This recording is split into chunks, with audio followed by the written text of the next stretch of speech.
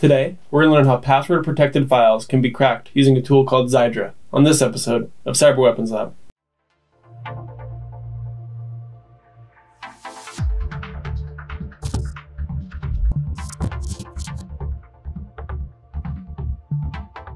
If you have sensitive files on your computer, such as a PDF of your tax records or a zip containing sensitive photos and videos, then you're going to want to make sure that it's password protected so no one else can look at it. Encrypting these files with a password gives you the peace of mind that even if your computer is compromised via an SSH attack or command injection, that the hackers, while they're on their computer, they can't look at these files. However, as in anything else with cybersecurity, if it has a password, it can be brute forced. And today, we're going to learn about a, a file brute forcing tool called Zydra, and do a quick demonstration brute forcing a zip file and looking at the contents inside. In order to follow this tutorial, you're just going to need a computer Today we're going to be using an Ubuntu computer. And if you have any problems following the tutorial, you can check out the article linked in the description. Let's get started. So before we go ahead and get started using Zydra, let's go ahead and do a quick review of how to actually encrypt zip files, which is something that you might not do every day. So when looking inside my folder here, I can see that I have this penguin.jpg uh, file that I actually want to go ahead and encrypt. Let's actually just go take a look at it really quick. And it's just the nullbyte logo. And so let's go ahead and put a password behind this because we can't have all you hackers going ahead and seeing our new logo. So to do that, we can just use the zip tool, which should already be installed on um, your computer. I'm using Ubuntu here. If not, you can do a simple apt-get or whatever your respective package manager is.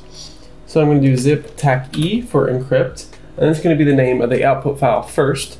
So I'm just going to call this password protected .zip, and then the name of all the files going into it, and that's just going to be penguin.jpg, and then we're going to name a password for it. So let's make it a secure password. And now I can see if I want to unzip. Oh, so now let's see that it actually created the zip file. So as we can see, we have password protected. Let's go ahead and unzip password protected.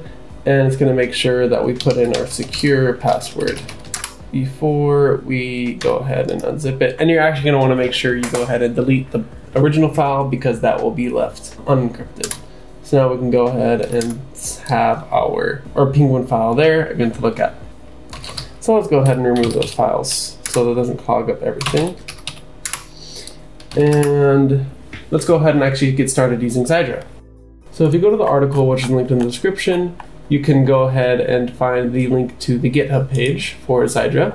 And once you're on this GitHub page, we can just go ahead and clone this URL. And as you can see, all it does is download the Zydra folder, which gives us the Zydra.py uh, file.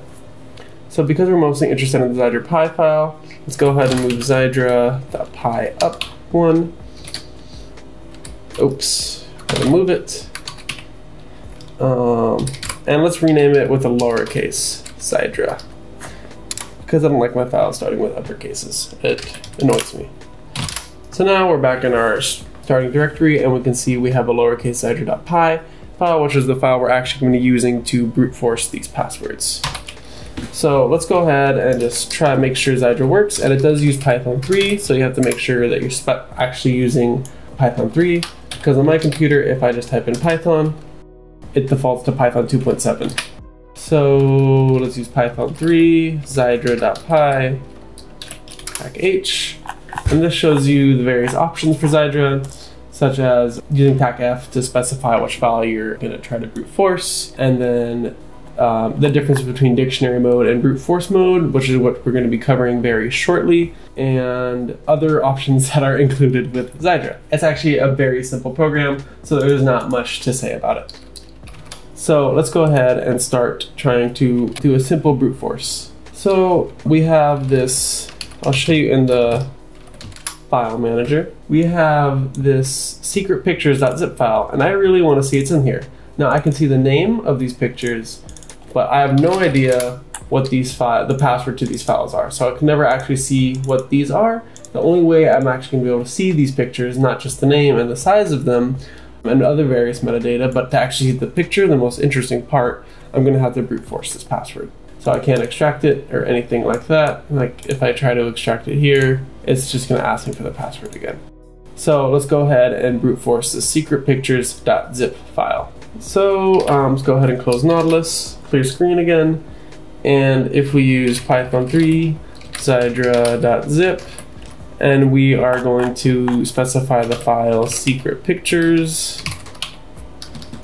Secret pictures.zip and then we get we specify the file. And let's just say we want to limit this to letters and digits. So all uppercase and lowercase letters and all digits.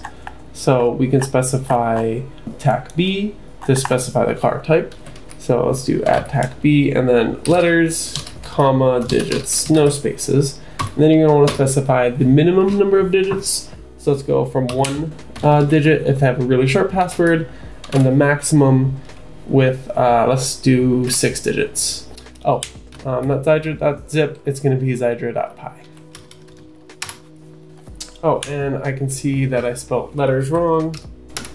So now it's gonna start cracking the password. And if you go up here, oh, right here, it's gonna list the number of possible passwords, which let's see, three, six, it's like 5.7 times 10 to the 10th, or over uh, 57 billion different passwords it's gonna try. So it's gonna take quite a while to just brute force it like this, but it's trying every single combination of letters and numbers, uppercase and lowercase, between one and six digits, so it's going to take quite a while. Um, that is not the most effective method. A more effective method is to use a dictionary of commonly used passwords rather than a brute force, which includes a bunch of different garbage. This can take quite a while depending on the power, the power of your CPU. But if you go ahead and download a, a dictionary of common passwords, which you can find on this GitHub page, and let's download the top 1000 if we, as we can see, these are a bunch of different very simple, very common passwords, but it might just work as a lot of people might use these as their own passwords.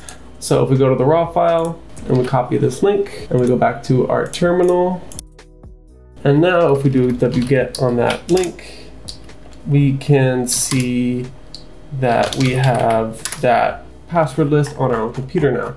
And now we can tell Zydra to use this dictionary on that zip file and see if any matches are there drastically cutting it down from the um, 5.7 times 10 to the 10th number of passwords to just 1,000 different passwords to try.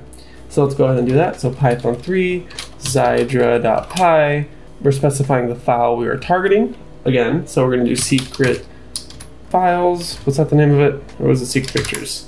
Secret pictures.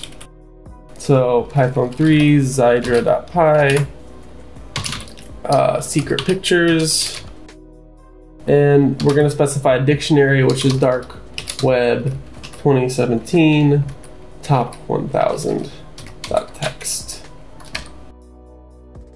And as you can see, it's only 999 different passwords, and it already found a match with a very simple password of ABC123, and it looks like this person wasn't trying to protect their very secret passwords. So let's go ahead and open Nautilus again and try and look at what these secret pictures are. So now,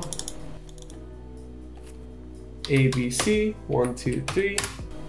As we can see, it worked, and we can see the pictures that this person was trying to keep secret from the rest of the world. There seems to be a very cute cat, and an idea for a very bad movie. So yeah, that's a very quick demonstration of Zydra. It's a very simple but very, very effective program for trying to brute force any password protected files, and you can do a similar methodology to target PDFs or RAR files as well. If you like this tutorial, be sure to check out our website, where we have hundreds of free articles and videos, as well as premium paid content like the Ethical Hacking Certification Bundle, which features pen testing with OWASP Zap, WordPress hacking and hardening, and the CompTIA Cybersecurity Analyst Prep course. Check out the link in the description below. I hope that this demonstration displayed the importance of using an important password to protect your own files. In this instance, Zydra is only so effective because the user that we're using it against chose a very, very bad password. If they chose something a little more secure and we use a password manager such as LastPass, it might have been able to circumvent Zydra. If you have any problems with this tutorial, you can check out the article, which is linked in the description. If you have any ideas for a future episode, hit me up on Twitter at Nick Gottschall. Thank you guys for watching, and I'll see you next time.